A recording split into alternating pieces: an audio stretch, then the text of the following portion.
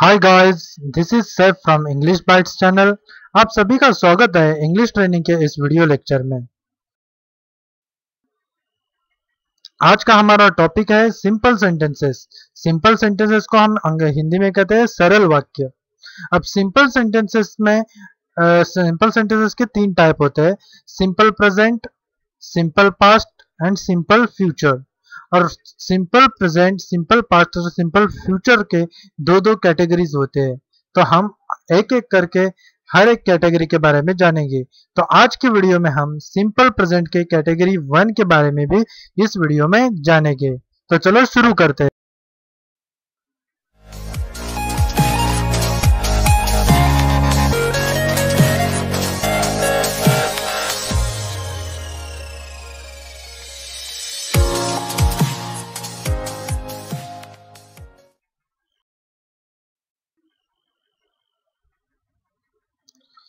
तो सरल वाक्य ऐसे होते हैं जिसमें या तो क्रिया होती ही नहीं, या अगर होती भी है तो सब्जेक्ट उस क्रिया को नहीं करता।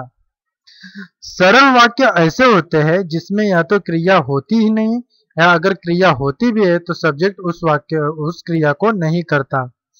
तो ऐसे जो सेंटेंस होते हैं, उन्हें कहेंगे सिंपल सेंटेंसेस या फिर सरल वाक्य सिंपल सेंटेंसेस एग्ज़ाम्पल के माध्यम से हम समझते हैं कि अगर हम कहें कि विशाल एक अच्छा लड़का है, विशाल एक अच्छा लड़का है तो इसमें सब्जेक्ट विशाल है तो सब्जेक्ट विशाल है। इसमें क्या विशाल कोई काम कर रहा है? नहीं, जबकि विशाल के बारे में सिर्फ़ बताया गया है कि विशाल एक अच्छा लड़का है, विशाल अच्छा लड़का है। सेकेंड एग्ज़ाम्पल के माध्यम से समझते हैं। टेबल पर रखी हुई है। पेन टेबल पर रखी हुई है। इसमें सब्जेक्ट है पेन। सब्जेक्ट है पेन। और रखना एक क्रिया है। तो भले ही इस वाक्य में क्रिया है, लेकिन क्या सब्जेक्ट इस क्रिया को कर रहा है? नहीं। क्योंकि पेन तो खुद रखी हुई है। वो कोई काम नहीं कर सकती। इसलिए ये एक सिंपल सेंटेंस है। तो ये एक सिंपल सेंटेंस है। सुनील किताब पढ़ रहा है। सुनील किताब पढ़ रहा है। ये एक तीसरा एग्जांपल देखते हैं। सुनील किताब पढ़ रहा है। सब्जेक्ट कौन है? सुनील। और पढ़ना क्रिया है। और पढ़ना क्रिया है। अब क्या सब्जेक्ट इस क्रिया को कर रहा है? तो हाँ क्योंकि सुनील ही किताब पढ़ रहा है। क्योंकि सुनील ही पढ़ने का काम कर रहा है, जो इस वाक्य में सब्जेक्ट है। इसका मतलब ये सिंपल सेंटेंस नहीं है। तो ऐसे ऐसे सेंटेंस टेंस सेंटेंस कहलाते हैं।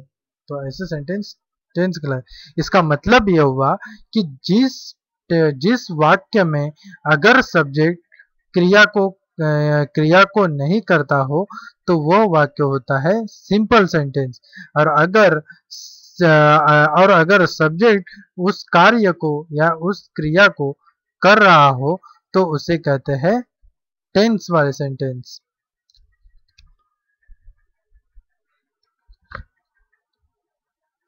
कुछ एग्ज़ाम्पल देखते हैं।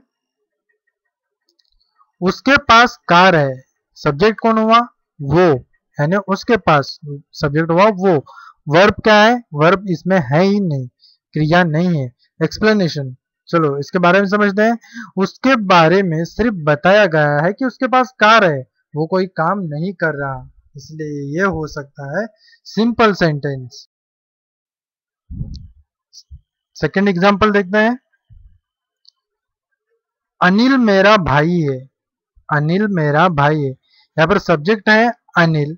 वर्ब यानी क्रिया नहीं है। इस सेंटेंस में क्रिया नहीं है। एक्सप्लेनेशन में देखें, अनिल के बारे में सिर्फ़ बताया गया है।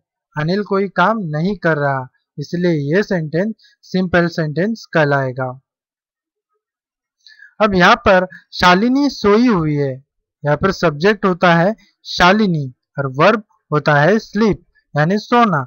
तो यहाँ पर एक्सप्लेनेशन में देखते हैं, क्रिया है, पर क्या सब्जेक्ट क्रिया को कर रहा है, यानी शालिनी कर रही है तो नहीं, क्योंकि वो खुद सोया हुआ है, खुद सोया हुआ है, यानी वो खुद सोई हुई है, वो काम नहीं कर रही।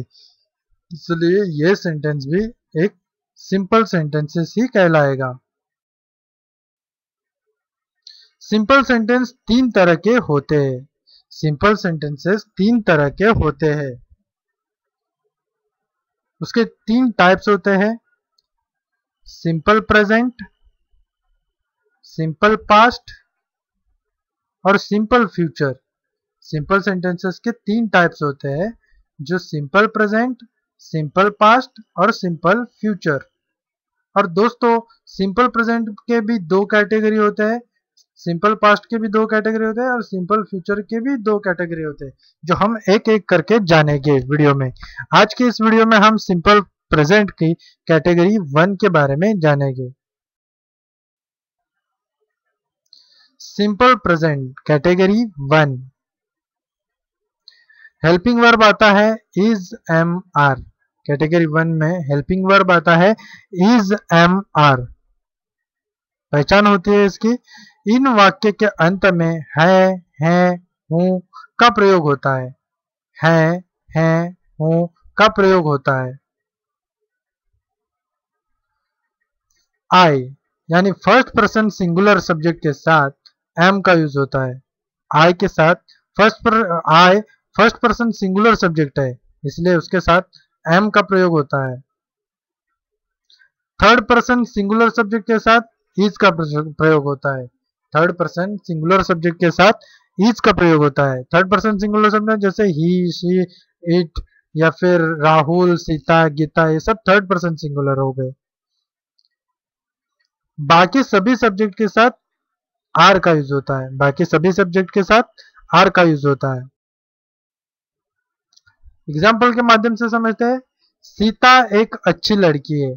सीता एक अच्छी लड़की है। Sita is a good girl अंग्रेज़ी में हम करेंगे, Sita is a good girl subject है Sita third person singular subject है, इसलिए इसके साथ, सीता के साथ इज़ का प्रयोग हुआ है। यानी थर्ड पर्सन सिंगुलर सब्जेक्ट के साथ इज़ का प्रयोग हुआ है। सेकेंड एग्ज़ाम्पल में देखेंगे, हम लोग तुम्हारे साथ है, हम लोग तुम्हारे साथ है। We people are with you we people are with you subject है वी पीपल सब्जेक्ट है we people first person plural है। फ़र्स्ट पर्सन प्लूरल है। और प्लूरल के साथ, यानी बहुवचन के साथ हमेशा आर का यूज़ होता है। इसलिए आर का प्रयोग हुआ है। फ़र्स्ट पर्सन प्लूरल है, इसलिए यहाँ पर आर का प्रयोग हुआ है। चार प्रकार के वाक्य। चार प्रकार के वाक्य। चलो देखते हैं। तो सबसे पहले आता है अफर्मेटिव अफर्मेटिव यानी सकारात्मक वाक्य। सकारात्मक वाक्य। जो देखते हैं उसका रूल रूल होता है subject plus is am are plus object subject है इसका रूल है इसका subject plus is am are plus object example बना के देखते हैं। सुरेश एक अच्छा लड़का है। सुरेश एक अच्छा लड़का है। तो सुरेश, सारे दोस्तों जितने भी कितने यहाँ पर जितने भी सेंटेंसेस बनाए जाते हैं, वो सब स्ट्रक्चर को को फॉलो करके ही सारे सेंटेंस बनाए जाते हैं। अगर आपको सारे स्ट्रक्चर पता हो गए तो आप कोई भी सेंटेंस चाहे कितना भी छोटा हो या कितना भी बड़ा, आप बना सकते हैं। तो इसके लिए आपको सारे सब्जेक्ट्स सारे स्ट्रक्चर्स याद होने चाहिए या सारे स्ट्रक्चर्स का आइडिया पता होना चाहिए कि अफर्मेटिव सेंटेंस में क्या स्ट्रक्चर होता है नेगेटिव सेंटेंस में क्या स्ट्रक्चर होता है इंटरोगेटिव में क्या होता है नेगेटिव इंटरोगेटिव में क्या स्ट्रक्चर होता है, सबके बारे में पता होना चाहिए। हम एक एक करके इन इन, इन चारों प्रकारों के बारे में जानेंगे लेकिन सबसे पहले हम अफर्मेटिव का पहला सेंटेंस देखते हैं। सुरेश एक अच्छा लड़का है। अंग्रेज़ी में Suresh as a subject use हुआ है is helping verb a good boy object use हुआ है। सेकेंड एग्ज़ाम्पल देखते हैं। लोग पागल है। पीपल सब्जेक्ट हो गया are helping verb and mad object हो गया। तो पीपल आर मैड इस तरह से हम अफर्मेटिव के सेंटेंसेस बनाते हैं। अफर्मेटिव सेंटेंस के लिए जो रूल दिया है, ये रूल ही फॉलो होता है अफर्मेटिव सेंटेंस बनाने के लिए। सेकंड होता है नेगेटिव सेंटेंस है, यानी नकारात्मक वाक्य। नकारात्मक वाक्य के कुछ एग्जांपल्स देखते हैं रूल्स पहले देखते हैं। Subject plus is am are plus not plus object यहाँ पर इज़ एम हेल्पिंग वर्ब के तुरंत बाद नॉट का प्रयोग होता है। सब एग्ज़ाम्पल के माध्यम से समझते हैं। सुरेश एक अच्छा लड़का नहीं है। सुरेश एक अच्छा लड़का नहीं है। यानी सुरेश सब्जेक्ट हो गया इज़ हेल्पिंग वर्ब हो गया। अब इज़ हेल्पिंग वर्ब है तो इसके तुरंत बाद नॉट का प्रयोग हुआ है, क्योंकि ये वाक्य नकारात्मक नकारात्मक है। और अ गुड बॉय ये एक ऑब्जेक्ट हो गया। इसी तरह सेंटेंस कंप्लीट होता है। तो सुरेश एक अच्छा लड़का नहीं है, Suresh is a not a good boy second question example लोग पागल नहीं है। लोग पागल नहीं है। लोग के लिए हमने यूज़ किया पीपल पीपल सब्जेक्ट है। आर हेल्पिंग वर्ब है नॉट क्योंकि नकारात्मक है, इसलिए हेल्पिंग वर्ब के तुरंत बाद यूज़ हुआ है और मैड ऑब्जेक्ट है। तो इसी तरह से हमने दोनों सेंटेंस बना के देखे निगेटिव सेंटेंस में। आगे हम और भी देखेंगे सेंटेंसेस लेकिन फ़िलहाल के लिए आप समझ लीजिए कि कैसे हम यूज़ करते हैं और सबके स्ट्रक्चर आप याद कर लीजिए और समझने की कोशिश करिए। आपको जब ये सारे स्ट्रक्चर याद हो जाएँगे तो आप कोई भी सेंटेंस बनाने में गलती कभी नहीं करोगे।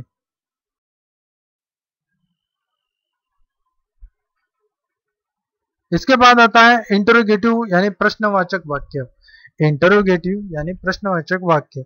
इंटरोगेटिव वाक्य का रूल होता है डब्ल्यू एच फैमिली अगर सेंटेंस में डब्ल्यू एच फैमिली हो डब्ल्यू एच फैमिली का यूज़ होता हो तो डब्ल्यू एच फैमिली हमेशा सबसे पहले यूज़ होती है।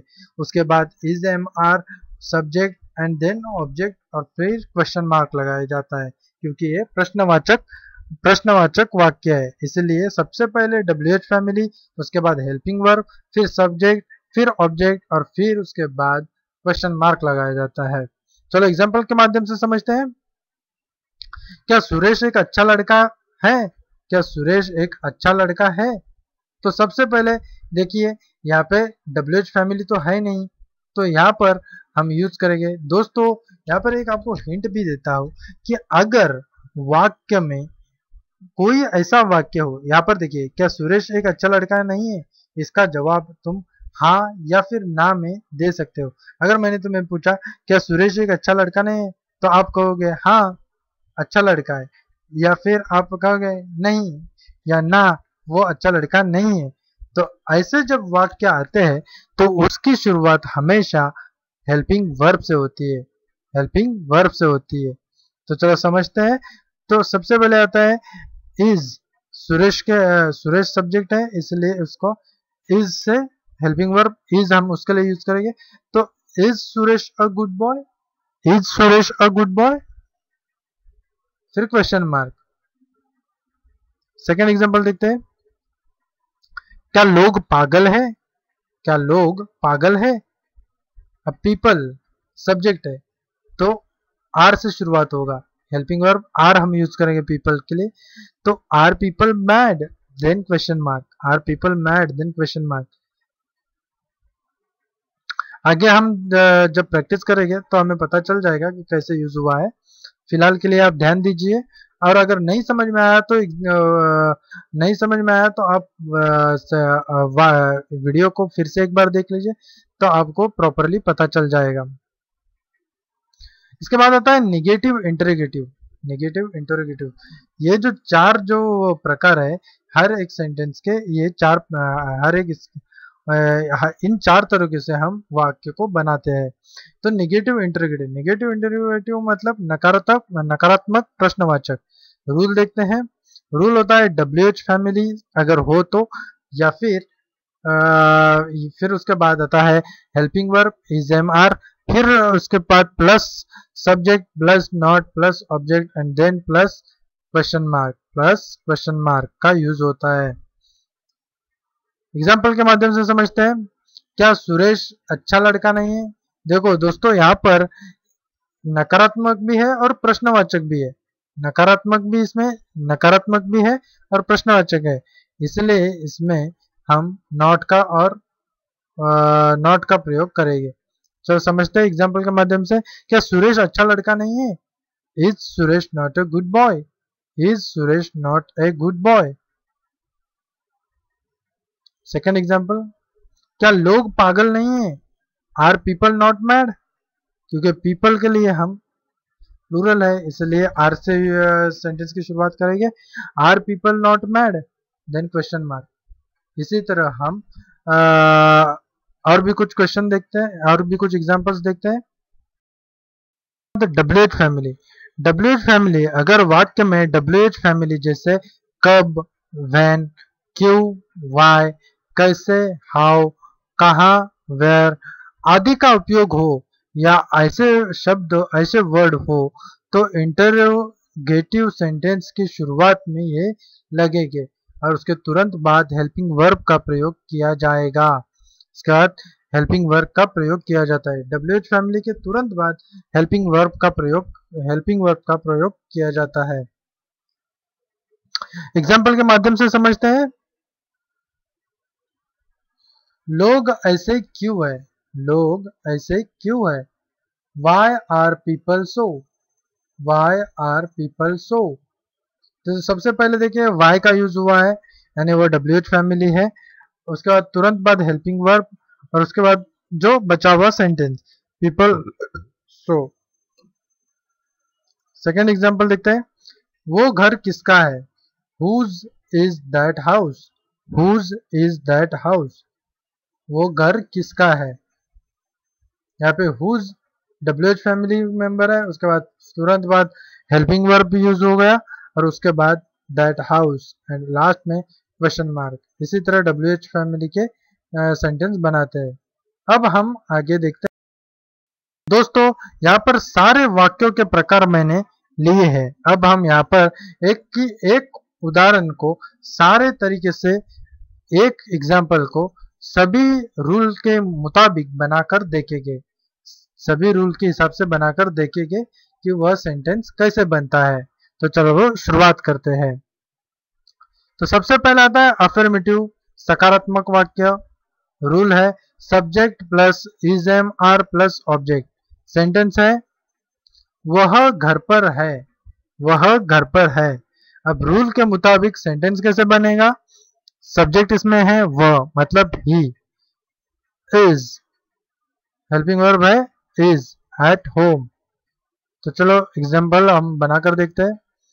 He is at home he subject का, देखिए यहाँ पे मैंने जो कलर दिया है रेड कलर है, इसका मतलब वह सब्जेक्ट है। ग्रीन कलर है मतलब उसका वो हेल्पिंग वर्ब है। और एट होम ये ऑब्जेक्ट है। जैसे मैंने यहाँ पे रूल में जो कलर दिया है, वही हमें यहाँ पे मैंने सेंटेंस में भी वही सेम कलर दिया है, ताकि आपको पता चले कि कौन सा सब्जेक्ट है, कौन सा ऑब्जेक्ट है, कौन सा हेल्पिंग वर्ब है। सेकेंड एग्ज़ाम्पल देखते हैं। नकारात्मक में नकारात्मक में हम सेम एग्ज़ाम्पल को नकारात्मक में बनाकर देखते हैं।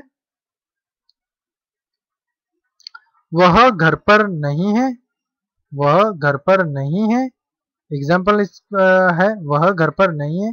चलो, इसको अंग्रेज़ी में हम कैसे बनाएँगे? रूल के हिसाब से सबसे पहले आएगा सब्जेक्ट फिर एज एम आर फिर नॉट का प्रयोग, फिर ऑब्जेक्ट चलो, बनाकर देखते हैं। He is not at home he is not at home he subject है इज़ हेल्पिंग वर्ब है। नकारात्मक है, इसलिए तुरंत बाद नॉट का प्रयोग हुआ है, और एट होम ऑब्जेक्ट है। इसके बाद आता है इंटरोगेटिव यानी प्रश्नवाचक शब्द। प्रश्नवाचक शब्द को प्रश्नवाचक वाक्य प्रश्नवाचक वाक्य हम देखेंगे तो इसी वाक्य को हम अब प्रश्नवाचक वाक्य बनाएँगे। वाक्य बनता है, क्या वह घर पर है? अब इस क्वेश्चन को आप आंसर में कह सकते हैं हाँ या फिर ना। हाँ या ना में अगर एग्ज़ाम्पल आंसर दे सकते हो या हाँ या ना, में आप बता सकते हो। तो इससे सेंटेंस जब भी आपको आपको कभी भी मिले तो इसकी शुरुआत हमेशा हेल्पिंग वर्ब से ही होती है। तो यह वाक्य कैसे बनेगा? ये वाक्य बनेगा इस तरह से। इज़ ही एट होम क्या वह घर पर है? इज़ ही एट होम तो देखिए इज़ ग्रीन में बताया है क्योंकि वह हेल्पिंग वर्ब है। ही रेड सब्जेक्ट है and at home as an object then question mark फिर इसके बाद नेगेटिव इंटोरोगेटिव नकारात्मक, प्रश्नवाचक, बनाकर देखते हैं। इसी सेंटेंस को हम नकारात्मक, प्रश्नवाचक में कैसे बनाएँगे? क्या वह घर पर नहीं है? क्या वह घर पर नहीं है? चलो, इस एग्ज़ाम्पल को हम रूल के हिसाब से बनाकर देखते हैं। तो दोस्तों, यहाँ पर भी हम हाँ या ना में जवाब दे सकते हैं। क्या वो घर पर नहीं है? तो आप कहेंगे हाँ क्या वो वो घर पर नहीं है तो आप कहेंगे ना। हाँ या ना में जवाब दे सकते हैं। तो ऐसे सेंटेंसेस का हमेशा शुरुआत होती है हेल्पिंग वर्ब से। तो ये सेंटेंस बनेगा इस तरह से। Is he not at home is he not at home क्योंकि नॉट यहाँ पर यूज़ हुआ है, क्योंकि नकारात्मक वाक्य है। सब शुरुआत हो गई सबसे पहले हेल्पिंग वर्ब्स पे, फिर सब्जेक्ट फिर नॉट का प्रयोग, फिर object and then question mark उसके बाद आता है डब्ल्यू एच फैमिली वाले क्वेश्चन प्रश्नवाचक वाक्य. डब्ल्यू एच फैमिली वाला प्रश्नवाचक वाक्य. इसी सेंटेंस को हम डब्ल्यू एच वाला फैमिली वाला वाक्य बनाकर देखते हैं। घर पर वह घर पर क्यों है? वह घर पर क्यों है? अब इसका जवाब तुम हाँ या ना में नहीं दे सकते। हाँ या ना में नहीं दे सकते। इसलिए यह वाक्य कैसे होगा? क्योंकि इसमें डब्ल्यू एच फैमिली आती है। तो शुरुआत, जब भी कभी डब्ल्यू एच फैमिली का वाक्य हो तो डब्ल्यू एच फैमिली का जो भी वाक्य का वर्ड जो यूज़ होगा डब्ल्यू एच फैमिली में जो भी वर्ड यूज़ होगा, वह सबसे पहले आएगा। उसी से शुरुआत होगी। तो सेंटेंस बनता है। Why is he at home why is he at home देखिए वाई सबसे डब्ल्यू एच फैमिली सबसे पहले यूज़ होगा, उसके बाद हेल्पिंग वर्ब फिर सब्जेक्ट फिर ऑब्जेक्ट फिर सब्जेक्ट फिर ऑब्जेक्ट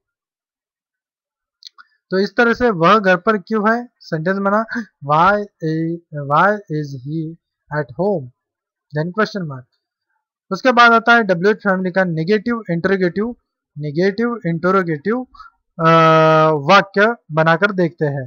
तो इसी सेंटेंस को हम बनाकर देखते हैं। दोस्तों, आप भी इस तरह से एक सेंटेंस ले लीजिए, उसको कई तरीके से बनाकर देखिए इस रूल को फॉलो कर कीजिए। आप एक एक करके जब आप ये करते करते बार बार करते रहेंगे तो आपको हर एक सेंटेंस और आपको हर एक सेंटेंस पर आपकी पकड़ बन जाएगी। फिर आपको पता चल जाएगा कि कब डब्ल्यू एच फैमिली यूज़ करनी है कब हेल्पिंग वर्ब से आ, से क्वेश्चन करना है ये सब आपको पता चल जाएगा। तो फ़िलहाल हम देखते हैं नेगेटिव इंटरगेटिव वाला डब्ल्यू एच फैमिली वाला क्वेश्चन तो चलो डब्ल्यू एच फैमिली वाला क्वेश्चन देखते हैं। वह घर पर क्यों नहीं है? देखिए, इसमें नकारात्मक भी है और क्वेश्चन भी पूछा गया है। वह घर पर क्यों नहीं है? वह घर पर क्यों नहीं है? रूल देखिए W H family plus is am are plus subject subject के तुरंत बाद नॉट का प्रयोग एंड देन ऑब्जेक्ट फिर उसके बाद आता है क्वेश्चन मार्क एग्ज़ाम्पल के हिसाब से सेंटेंस बनाकर देखते हैं। तो सेंटेंस बनेगा कुछ इस तरह से। Why is he not at home why is he not at home तो दोस्तों, ये पूरा चार्ट हमने देख लिया। इस तरह से और एक एग्जांपल हम देख लेते हैं। तो आपको इसके बारे में प्रॉपर पता हो जाएगा। फिर आप घर पर जब भी कभी बैठे हो तो ऐसे तरीके से बहुत सारे एग्ज़ाम्पल बनाकर देखिए। जैसे जैसे आप बनाते रहोगे, आपको इसके ऊपर पकड़ बनती जाएगी और आप इसमें एकदम पक्के हो जाओगे। और फिर आपकी गलतियाँ सेंटेंस बनाने में नहीं होगी। आप कितना भी बड़ा या कोई भी सेंटेंस आप बना पाओगे। अब हम एक दूसरा सेंटेंस लेके देखते हैं। तो चलो दूसरा सेंटेंस हम लेते हैं। वो मेरी दोस्त है। वो मेरी दोस्त है। अफर्मेटिव सेंटेंस है। अफर्मेटिव सेंटेंस मुझे बनाना है। तो अफर्मेटिव सेंटेंस का रूल क्या है? Subject plus is am are plus object तो सेंटेंस बनेगा। She is my friend she is my friend she subject use हुआ is helping verb my friend object use हो गया. इसी तरह निगेटिव देखते हैं. वो मेरी दोस्त नहीं है. रूल के हिसाब से सेंटेंस ऐसे बनेगा. She is not my friend she is not my friend इसी को अब हम इंटरोगेटिव सेंटेंस बनाकर देखते हैं. सेंटेंस कैसे बनेगा? हर एक सेंटेंस बनाते टाइम दोस्तों रूल देखिए। रूल जब भी आप देखकर सेंटेंस बनाओगे, आपकी गलती नहीं होगी और सेंटेंस भी करेक्ट होगा। तीसरा देखते हैं इंटरोगेटिव क्या वो मेरी दोस्त है? क्या वो मेरी दोस्त है? इसको हम हाँ या ना में जवाब दे सकते हैं। इसलिए इसका, इसकी शुरुआत हम हेल्पिंग वर्ब से करेंगे। तो सेंटेंस बनेगा is she my friend is she my friend हमेशा क्वेश्चन मार्क आएगा। इंटरोगेटिव सेंटेंस रहेगा तो हमेशा क्वेश्चन मार्क आएगा लास्ट में। इसके बाद निगेटिव इंटरोगेटिव नकारात्मक, प्रश्नवाचक वाक्य बनाकर देखते हैं। क्या वो मेरी दोस्त नहीं है? इसका सवाल जवाब, इसका हम जवाब हाँ या ना में दे सकते हैं। तो इसीलिए इसके बारे में भी हम रूल के हिसाब से इसको भी बनाएँगे। इसका भी शुरुआत इससे होगी सेंटेंस बनेगा। Is she not my friend is she not my friend and then question mark उसके बाद आता है डब्ल्यू एच फैमिली वाला इंटरीगेटिव क्वेश्चन तो देखते हैं। वो मेरी दोस्त क्यों है? वो मेरी दोस्त क्यों है? तो सेंटेंस में क्यों है? यानी वो मेरी दोस्त क्यों है? ऐसे अगर कहते हैं तो हम इसे हाँ या ना में जवाब नहीं दे सकते। तो ऐसे केस में हमें हमेशा डब्ल्यू एच फैमिली से शुरुआत करनी होगी। तो सेंटेंस बनेगा why is she my friend why is she my friend then question mark देखिए वाई सबसे पहले यूज़ हुआ, फिर हेल्पिंग वर्ब फिर she subject and then object और फिर लास्ट में होता है क्वेश्चन मार्क का यूज़ अब लास्ट क्वेश्चन देखते हैं. नेगेटिव इंटरोगेटिव वाला डब्ल्यूएच फैमिली का. वो मेरी दोस्त क्यों नहीं है? वो मेरी दोस्त क्यों नहीं है? दोस्तों देखिए, इसे भी हम क्या हाँ या ना में जवाब नहीं दे सकते, इसीलिए इसको भी हम डब्ल्यू एच फैमिली के डब्ल्यू एच फैमिली के साथ बनाएँगे। तो डब्ल्यू एच फैमिली से शुरुआत होती है तो सेंटेंस कैसे बनेगा? Why is she not my friend why is she not my friend इसी तरह से आप सारे सेंटेंसेस बनाइए और उसकी प्रैक्टिस कर दीजिए कीजिए तो आपको ये सारे सेंटेंसेस की पकड़ हो जाएगी और आप इसमें आप इसमें एकदम आप, इसमें आपको कॉन्फिडेंस आ जाएगा। तो दोस्तों उम्मीद कर अगर आपको ये वीडियो अच्छा लगा हो तो प्लीज़ लाइक शेयर और सब्सक्राइब कर दीजिए। Thanks for watching my videos